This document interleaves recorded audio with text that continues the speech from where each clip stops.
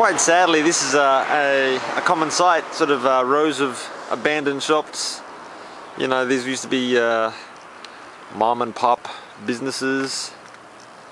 Um, yeah, you see this a lot, especially driving around in the countryside. I mean, the architecture is pretty crap, but um, anyway, so this is the uh, uh, Yanagawa Unagi shop. Um, there's still signs up there, and there's a blue sign there that says Yanagawa Unagi shop. So Yanagawa, the city or the town, the city.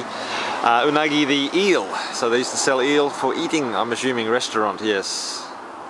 Chirol. And here's their work car, it's a beast. Daihatsu Mira. Um, an aftermarket body for their unagi deliveries. And certainly there would not be some unagi getting delivered to my house.